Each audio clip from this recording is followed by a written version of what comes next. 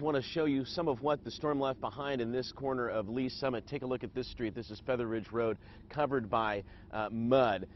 Flash flooding came through here overnight, remarkable amount of water. So the flash flooding issue is a, is a bigger issue in this neighborhood uh, than maybe the storm damage. Let's take a look at some video uh, from uh, a, neighbor in this uh, uh, part of Lee's Summit shows just how high and fast the water was moving at the peak of the storm last night.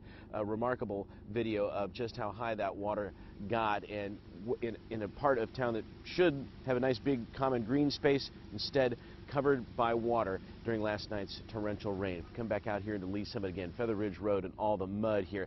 That's not to say there's not some storm debris to pick up around here. There certainly is.